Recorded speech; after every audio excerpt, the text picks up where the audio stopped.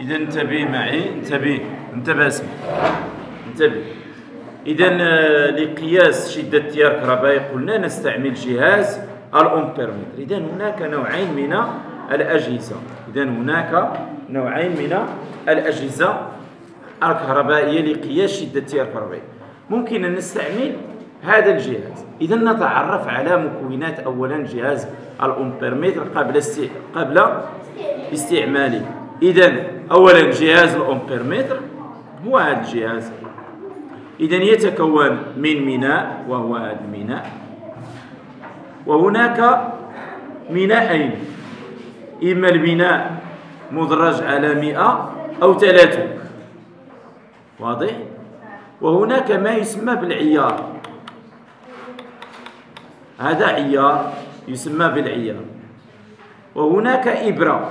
إبرة تشير إلى تدريجة على الميناء مئة أو على الميناء ثلاثة واضح؟ إذا هذا لكي يتم استعماله لا بد من اتباع مجموعة من الخطوات.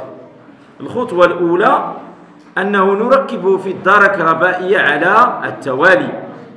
نركبه في الدار الكهربائية على التوالي.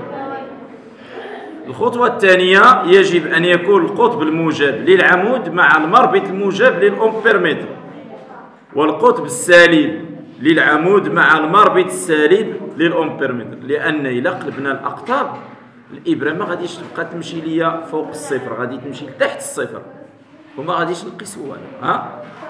إذا أنت تمشى الإبرة للاتجاه الآخر. واضح؟ انتبه. الخطوة الثانية قبل إغلاق الدارة الكهربائية يجب أن يكون العيار في أكبر قيمة. لماذا؟ لكي لا يتلف هذا الجهاز. لكي لا يتلف الجهاز.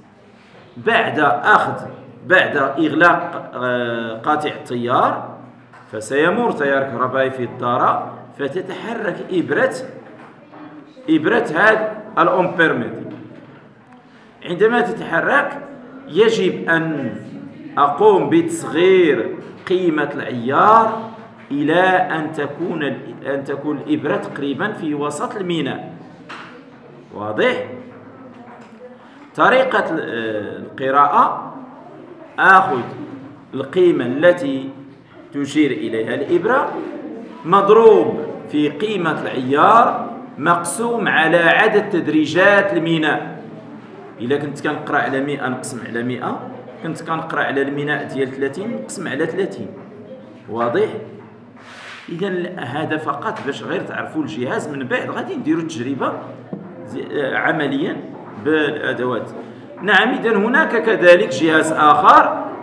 هذا أسهل. ما فيش ديك العلاقة.